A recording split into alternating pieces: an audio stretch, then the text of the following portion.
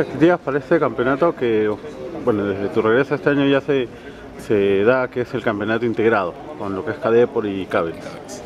Nada, las expectativas las mejores. Eh, extraño mucho correr, hace tiempo no corro, no hemos podido lograr consistencia todavía, pero ya tenemos un nuevo motor y estamos eh, apostando otra vez a, a, pelear la punta, ¿no? Tu récord ya lo, lo dejaron el año pasado a 9 segundos. ¿Vas tras Eduardo Yulo? Mira, eh, 9 segundos punto 3, que fue lo que hizo Eduardo, es eh, un tiempo monstruoso para el cuarto de milla. Veo un poco complicado este año poder competir todavía contra él. Nuestra meta es meternos a 9, de repente un 9-9, un 9-8. Y eh, estamos armando un motor, sí, para, para perseguirlo para el próximo año. Pero por el momento vamos a pelear 10 y, y intentar unos 9 saltos. ¿no?